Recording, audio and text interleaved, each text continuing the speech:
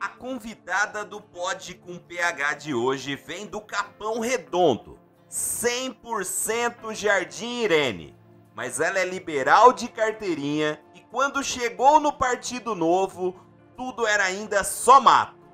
Advogada, foi líder e porta-voz do movimento Vem Pra Rua. Foi eleita e reeleita vereadora da cidade de São Paulo, na última vez com mais de 30 mil votos.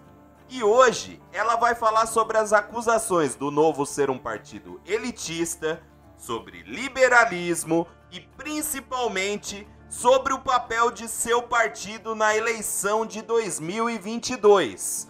No Pod com PH de hoje, a primeira vereadora do Novo da história de São Paulo, Janaína Lima.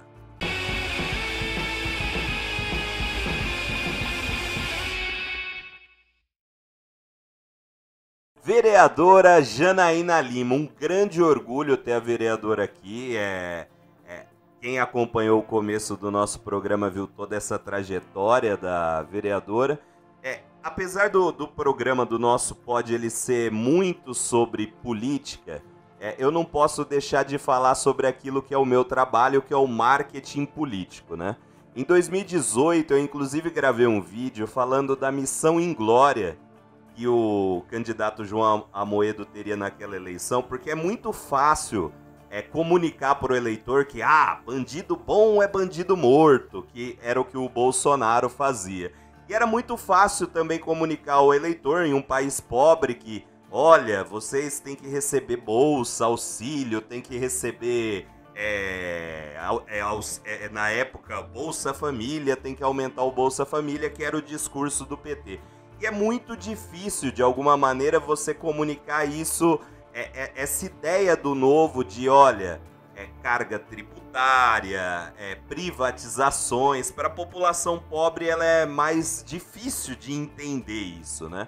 E tem um conceito entre é, converso sempre com profissionais da área de que o novo acaba tendo uma comunicação, na maioria dos parlamentares ou até do próprio partido, uma comunicação muito técnica.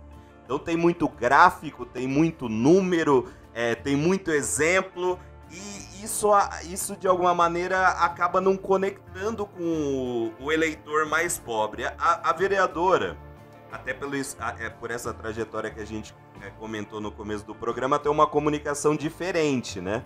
Consegue popularizar um pouco mais, talvez por essa experiência da mulher vindo do Capão Redondo, né? Que conhece a, a realidade dos mais pobres.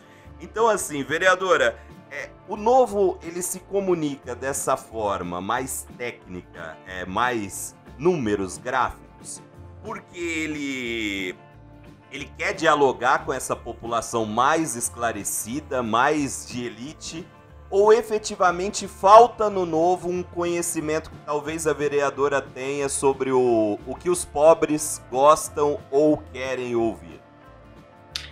Primeiro, Lucas, quero muito te agradecer o convite, uma honra estar aqui no podcast, estar falando aqui com tantas pessoas que estão interessadas num tema que hoje está é, tá muito difícil, porque por conta dos últimos acontecimentos, o liberalismo tem sido muito prejudicado. E ver aqui um podcast com tantas pessoas interessadas e você aí encabeçando essa ideia é um motivo de muito orgulho para todos nós liberais. Então, obrigada mais uma vez pelo convite. E você já começou com uma pergunta quente, né? e não podia ser diferente. Eu acho que é, até essa coisa né, da divisão de classes, ele já, é, esse discurso ele já começa em qualquer que, é, quaisquer que sejam os níveis sociais. Né? Então aqui a gente começou falando é, se o novo, essa parte esclarecida. E, e é uma coisa que a gente precisa superar, porque os maiores talentos do Brasil encontram-se nas periferias do Brasil, acreditem ou não. Né? Então, eu, por exemplo, saí do Capão Redondo casada. E, então, eu fiz toda a minha vida, toda a minha trajetória e eu tenho amigos tanto quanto mais inteligentes que eu e que cresceram comigo ali na comunidade. Então a gente precisa também romper com esse preconceito que na, nas comunidades e nos bairros mais afastados não existem pessoas esclarecidas e que são críticas e que querem de fato se aprofundar é, nessa questão. Óbvio que existe uma população, principalmente pós-pandemia, que aumentou o número de pessoas que hoje vivem na extrema pobreza.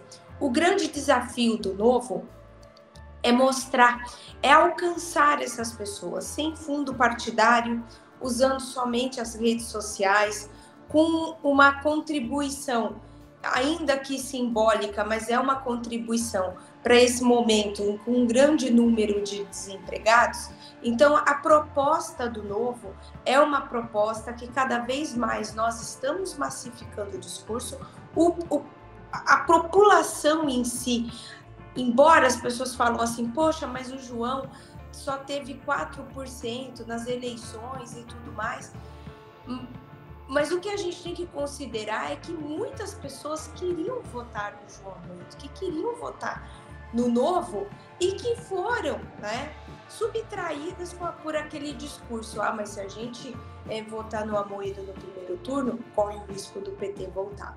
Então, a gente precisa né, é, ter o cuidado de não cair nessa polarização e, mais uma vez, inviabilizar uma possível terceira via que de fato vai fazer o Brasil avançar com pautas verdadeiramente liberais. Boa, vereadora, boa. É, na Câmara, assim, é, a, a, vereadora teve uma. Eu gosto de chamar de briga, mas eu sei que os políticos gostam de chamar de embates de ideias e tal, mas é, é as pessoas que estão assistindo vão entender como é uma briga.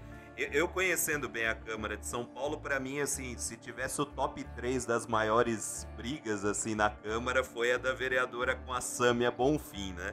Eu lembro muito, foi marcante para mim, da vereadora, é porque a, a Sâmia, né, e o PSOL tem aquele discurso sempre assim, ah, a gente defende os mais pobres e o novo defende os mais ricos. Eles adoram essa dicotomia, né?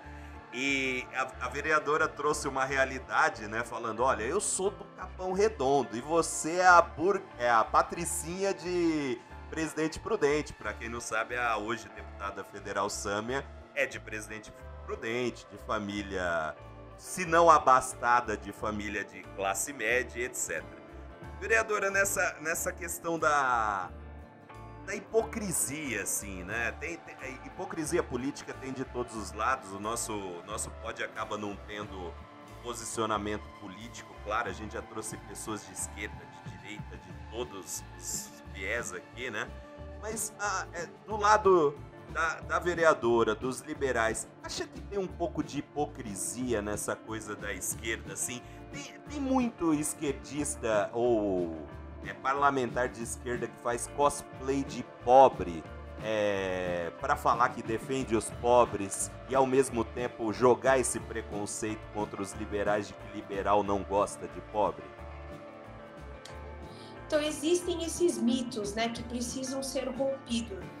Rompidos é assim é uma das pautas prioritárias que nós liberais temos que encarar e desmistificar para a população. Porque, obviamente, que liberal, ele realmente, pelas políticas né, liberais que favorecem a liberdade, o livre pensamento, a autonomia das pessoas, é que a gente de fato vai conseguir o, o estado de bem-estar que as pessoas hoje buscam por meio de políticas assistencialistas e aumentando o tamanho da máquina pública. Só que o que a gente alcança é um país dividido, é um país que não traz segurança jurídica para investidores, é um país em que grande parte dos empreendedores que começam um novo negócio até o quinto ano já estão completamente quebrados em sua maciça maioria. Então a gente precisa romper com isso. A gente precisa fazer um estado simples, desburocratizado, em que as pessoas tenham oportunidade, que os serviços essenciais sejam prestados com excelência e que o Estado, se ele não atrapalhar, ele já muito ajuda a quem quer fazer a sua vida acontecer. E com isso a gente vai conseguir, como Friedman dizia, né? A gente a gente precisa garantir para as pessoas o mesmo ponto de partida. Não é o que hoje acontece. É um aluno que sai do ensino médio de escola pública, ele não sai com o mesmo nível e qualidade de um aluno que estudou a vida toda na escola particular. Então, são essas distorções de serviços essenciais que o Estado deveria sim estar comprometido e não estar é, tá buscando ter banco, ter, é, vender combustível, de é, ter empresas, administrações diversas de negócios é, que compõem aí a administração indireta do Estado. Então a gente precisa rediscutir esse tamanho do Estado, né? Como que a gente pode fomentar cada vez mais, né, as concessões, né, a abertura de capital, como que a gente pode fazer com que as privatizações sejam um modelo, porque não, não adianta só você privatizar, conceder, né? Precisa ter todo um acompanhamento. E muitas vezes esse pós, né? O, o pós, quando a, a concessão ou a privatização aconteceu, é o que falta o devido acompanhamento por parte do Estado e, alguns casos que falharam isso, acabam virando exemplos negativos e inviabilizando ou seja, não, não inviabilizando, viabilizando esse discurso absurdo dizendo que o liberalismo não quer entregar um Estado melhor, uma política de realmente que favoreça a autonomia, o desenvolvimento, segurança jurídica para empreender, geração de riqueza e prosperidade para o Brasil. Então, temos sim que combater esse tipo de mentalidade e assim, né, uma, eu acho que nesse contexto do que você trouxe, Lucas, eu acho que o que mais se encaixa é o que a gente denomina, né, esquerda caviar, né, que ela fala, olha, eu tô, eu tô defendendo aqui os pobres e os oprimidos, eu, eu de, represento eles, mas eu tô aqui com meu carro importado e o meu celular de última geração. Nada contra, mas então não, não, fa, não faça um discurso contra o capitalismo, né? Então, assim, essa, essa, essa hipocrisia né, entre a prática e o discurso é o que muitas vezes nós encontramos em uma série de pessoas que estão desalinhadas com a sua prática e o seu discurso. Óbvio que todos nós queremos um, um, um Brasil e uma sociedade que de fato gere oportunidade para todos. É para isso que eh, a gente sempre fala que quando se busca é, quando uma pessoa, no lugar da liberdade, busca por igualdade, ela só consegue gerar mais desigualdade. Mas quando você busca pela liberdade, a igualdade é uma consequência, porque você deixa com que a capacidade de cada um, por meios meritocráticos, isso é quando um Estado de fato é focado naquilo que precisa para apoiar o cidadão, a gente consegue ter uma sociedade que de fato tem grandes indicadores de IDH, tem bons desempenhos de desburocratização, que tem um bom ambiente de negócios e que grande parte pleno emprego. Então, é essa é a sociedade que a gente busca e isso a gente só alcança com a defesa suprema da liberdade. Boa, vereadora, boa. É, é importante, assim, né, é, ouvir os liberais falarem, porque hoje o Brasil está muito na disputa entre a eu não gosto do termo extrema antes dos nomes, né? Mas entre o socialismo e esse. Eu, eu não digo nem o conservadorismo, mas quase um nacionalismo, assim. É, no mau sentido da palavra. Então é importante a gente ouvir esse, esse meio termo, pelo menos nisso. E, e, a próxima pergunta é sobre isso, vereador. Eu, eu, eu vou alcunhar a vereadora aqui, não fique brava, mas é assim. Eu considero a vereadora uma amoedista clássica. É, uma, uma pessoa que, assim, que repete... É, porque hoje no Novo, por exemplo, Fernando Holliday, ele é um neófito no Novo, né? Mas ele, ele tá lá nas redes dele falando em Moro, candidato, tal. É, já, é, outros do Novo já falaram em outros nomes e a vereadora tá ali insistente na defesa do, do João Amoedo como um, um bom candidato ou o melhor quadro que o que o Brasil tem hoje, na opinião da vereadora. Mas essa, a, a, tal terceira via, né, a, a, vereadora todo dia reforça essa posição nem Lula nem Bolsonaro, aponta o erro dos dois, compara os dois, né? as semelhanças né, de Lula e Bolsonaro. Eu acho isso super legal de, é, de conscientizar também a população de que eles não são tão diferentes assim em vários aspectos. Mas a, a, a, a, vereadora defende, inclusive esses dias postou novamente que a terceira via é o Amoedo. É, eu não vou fazer é, uma pergunta fácil de fazer a vereadora comparar a diferença entre o Amoedo com o Bolsonaro e o Amoedo com o Lula, porque essa a vereadora já traça sempre.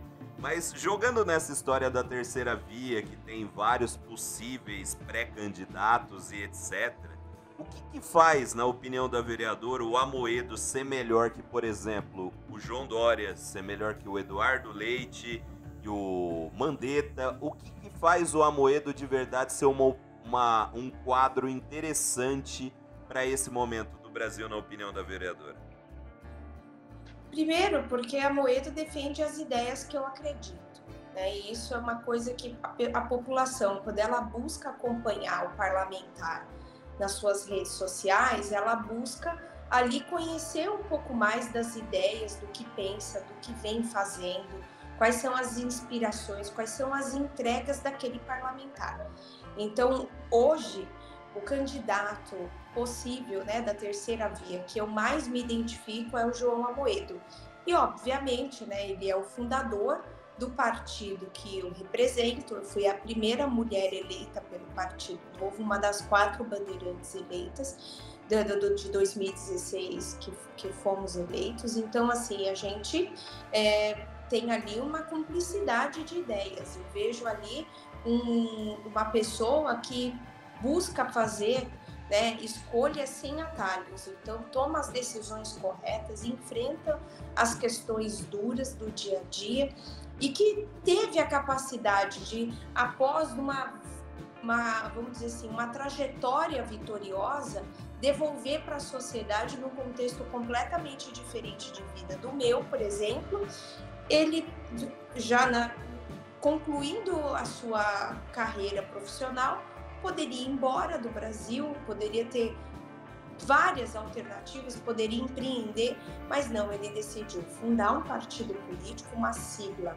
limpa, uma sigla íntegra, uma sigla é, que comunga de valores e princípios, e esse, essa pessoa hoje está aí pontuando nas pesquisas. Então, por tudo isso, eu considero ele o melhor cargo. Eu tenho absoluta certeza que ele é o melhor cargo o melhor nome que o Partido Novo possui para a terceira via é, nas eleições de 2022. E, e, e assim, só para a gente complementar a resposta, por exemplo, se a vereadora fosse dar uma diferença entre jo, é, positiva, é claro, para o João Amoedo, entre o João Amoedo e o João Dória ou o Eduardo Leite, que, que na balança, além da questão partidária, faria a vereadora achar ele mais qualificado ou, ou melhor para esse momento que esses outros dois quadros, por exemplo? Primeiro, a rejeição né, do Amoedo é muito menor que a do Dória. Então, quando você tem uma rejeição menor, o seu potencial de crescimento é maior.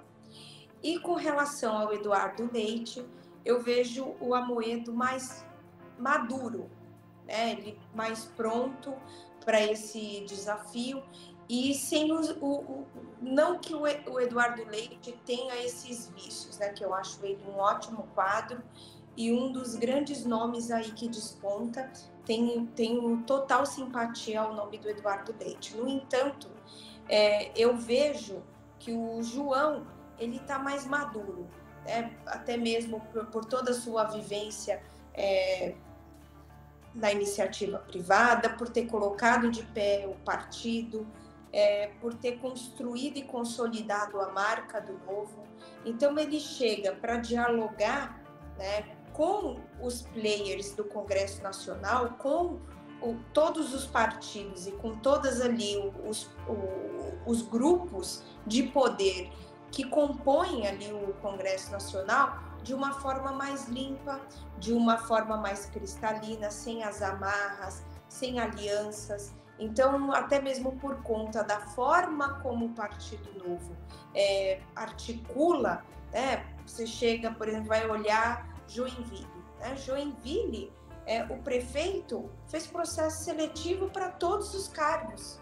E ele só pôde fazer isso porque ele não estava amarrado com ninguém. Então ele foi eleito pela população, única e exclusivamente pela população. Você olha o governo Zema, a mesma coisa. Então são características do Partido Novo, da forma de gerir do novo. Então isso eu vejo que a metodologia e os princípios e valores do novo, quando são colocados em práticas, eles fazem diferença. E os diferenciais do novo são os diferenciais do João Amoedo, afinal de contas, ele é o nosso idealizador e fundador dessas ideias que deu voz ao liberalismo, que era um tema pouco difundido, pouco falado politicamente. Os liberais ficavam meio que escondidos até nos partidos, e hoje a gente tem uma sigla em que todos os liberais se sentem convidados e bem-vindos a ser parte de uma política transparente, honesta e que verdadeiramente busca representar os valores liberais dentro dos espaços de poder.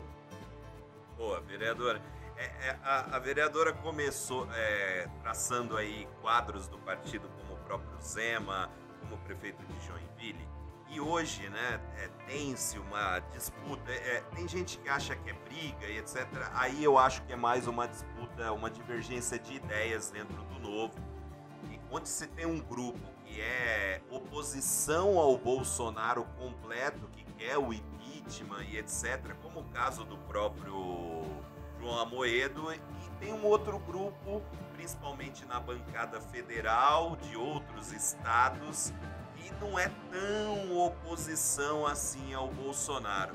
É, se, se, a vereadora que conhece o partido, é, é, na, na, verdade a vereadora é, é, a estreante né, do partido, que foi a primeira eleita, né, antes, é, é, quando, a, a, vereadora pode contar até aquela história, né? Antes de eu chegar no novo era tudo mato, né? Porque a, a vereadora foi aí a, uma, a primeira né, a ser eleita pelo partido. Mas hoje, se a vereadora fosse apostar num futuro para o novo para 2022, a vereadora acha que o novo estaria mais próximo é, de ser oposição ao Bolsonaro ou como acusa a esquerda de ser uma linha auxiliar do bolsonarismo e por que a vereadora acredita nisso? Acho que nenhuma dessas hipóteses se enquadra no, é, na visão de hoje do partido, né? Então existem pessoas assim que se desligaram do partido e falaram: ah, o partido virou bolsonarista, ah, o partido é, virou esquerdista. Mas você vai olhar as diretrizes da instituição, ela é muito clara. Partido está caminhando em apoio e a construção da terceira via. Então o partido ele está se abrindo porque o que está em jogo é o Brasil. Então, esse diálogo amplo e democrático novo está fazendo parte e tem buscado cada vez mais mostrar para o Brasil que a gente não tem só esses dois extremos, que o brasileiro pode sim abrir os olhos, não cair nessa armadilha de achar que tanto Bolsonaro quanto Lula são as únicas alternativas viáveis e possíveis para o Brasil. Então, esse é o, o, atual desafio do partido de ser parte dessa construção que viabilize um nome que desponte para que de fato a gente possa enfrentar esse mal dessa polarização exacerbada que tem cegado os brasileiros e que tem sequestrado o debate democrático do Brasil. Boa, vereadora. A gente está chegando na última pergunta do nosso pod aqui. E é o seguinte, essa última pergunta ela sempre traz algo distópico, vereadora. É, eu espero que a vereadora entre na brincadeira, use a imaginação. Eu sei que a vereadora é séria, conheça a trajetória na Câmara, mas eu sei que a vereadora é, é também uma pessoa de bom humor. O que, que acontece? Nessa última pergunta, eu geralmente trago algo para o parlamentar ou para o convidado imaginar. A gente, por exemplo, recebeu um vereador de Pelotas aqui, ele é ativista, antirracista, ele é negro, e eu perguntei para ele, por exemplo, o que ele faria se um dia ele acordasse branco. O que, que mudaria na vida dele. Então eu queria que a vereadora, assim, usasse um pouco da imaginação nessa resposta, que é o seguinte: eu costumo brincar com os meus amigos que quem é do novo é igual quem é corintiano. Eu não sei qual é o time da vereadora, mas eu costumo falar que quem é do novo é igual corintiano, que costuma falar assim, ó, olha, eu prefiro que acabe o futebol, mas não acabe o Corinthians. Então, assim, a pessoa é nova, ela não quer ser outra coisa, ela não quer estar tá ligada a outra coisa, ela é simplesmente novo. E a vereadora é esse expoente do novo. Então eu queria que a vereadora imaginasse o seguinte ponto. O novo não existe, não existe o Partido Novo hoje. E a vereadora tem essa atuação política, essa, essa presença política. Se a vereadora fosse ingressar na política hoje e não existisse o Partido Novo, para qual partido a, a, a, vereadora iria ou que, ideia de partido a, a vereadora teria se não existisse o Novo? Olha, é uma pergunta poucas, porque eu acho que aí uma série é, de indicadores, de condicionantes que entram nisso, que, que não me permite dar uma resposta de bate-pronto para você.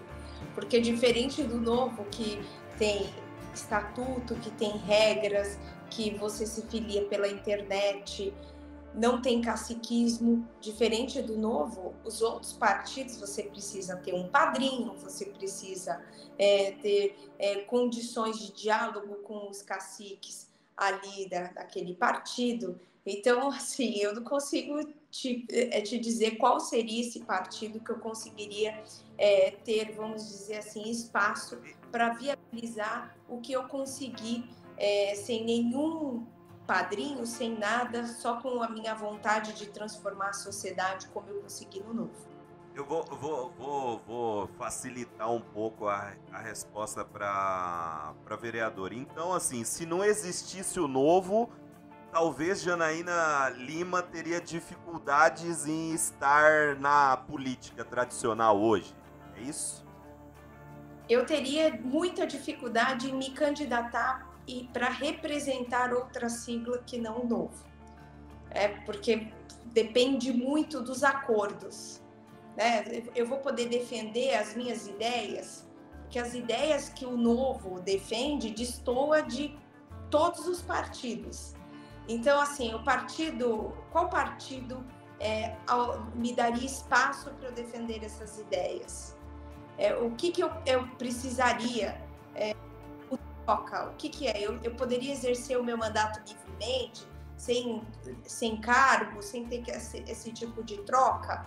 Então, assim, de que forma que seria esse relacionamento com o partido? Ser limpo, transparente, ou seria alguma coisa que não pudesse ser tão claro nem para mim, nem para o partido, e muito menos para a população. Então, são tantas coisas que envolvem o relacionamento de um parlamentar e, e um mandatar, de um parlamentar com seu partido, que é difícil você responder assim de bate pronto a tal partido representaria. Mas óbvio que nenhum dos extremos, uma coisa eu posso te garantir, nenhum, nenhum partido da esquerda eu entraria.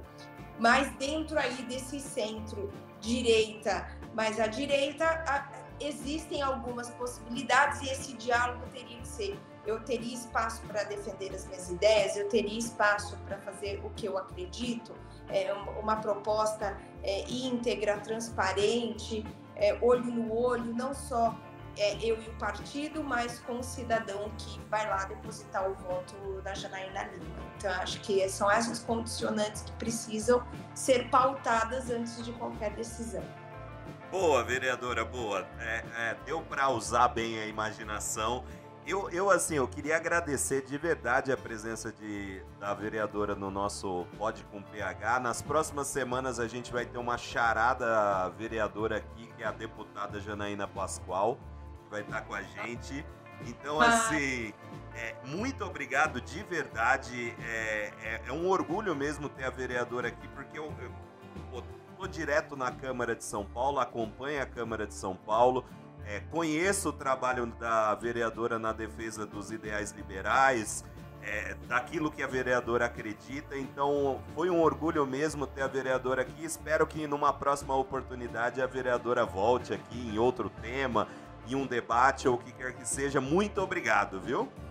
Imagina, Lucas, eu que agradeço a possibilidade de estar falando aqui com você e com toda a sua audiência. Conte comigo, muito obrigada por você ser um cidadão ativo, acompanhar a Câmara Municipal de São Paulo. Convido a todos a seguirem o seu exemplo, porque só assim nós teremos uma democracia mais madura, mais viva e que nossas instituições precisam cada vez mais serem valorizadas.